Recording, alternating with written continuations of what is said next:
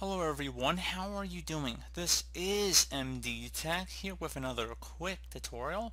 In today's tutorial I'm going to show you guys how to resolve the audio or video out of sync error you might be coming across on your Windows computer. So if you notice that it just doesn't seem to be matching up properly, in today's tutorial I'm going to show you guys how to hopefully resolve it without too much of a hassle here. And we're going to start by opening up the start menu. Just go ahead and click on the start button one time. Type in device manager, best match, should come back with device manager here. Go ahead and just left click on that to open it up.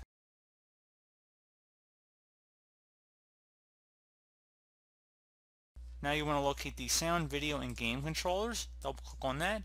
And now should be a high definition audio device listed underneath of here. Go ahead and right click on that and then select update driver. It's going to ask how you want to search for drivers. Select search automatically for updated driver software. Windows will search your computer and the internet for the latest driver software for your device unless you've disabled this feature in your device installation settings.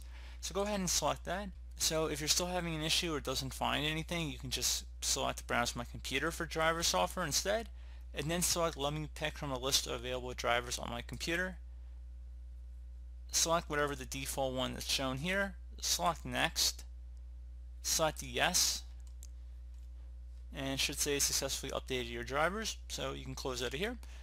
Would suggest restarting your computer so I'm going to click on no because I want to show one more method but I would suggest in your case restarting your device. And next thing I would suggest trying would be to open up the start menu type in troubleshoot. Best match come back with troubleshoot settings so go ahead and left click on that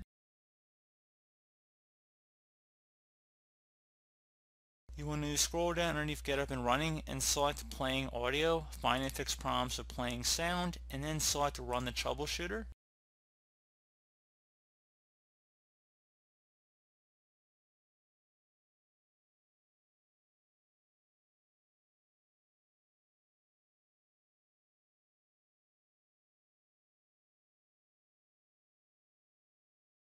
So if it suggests anything like turning off sounds effects and enhancements, I would suggest following along with whatever it suggests here. So want to disable something, I'd suggest doing it and then select next and just let it go through and see if it is able to detect any other problems. Low audio device volume. And if I check down the system tray, I can see my speakers is turned off down here, so you just have to drag it over the right to turn it up. So you can see that it's able to detect that in here, so pretty neat feature I would say. So pretty straightforward process here guys do hope I was able to help you out and I do look forward to catching you all in the next tutorial. Goodbye.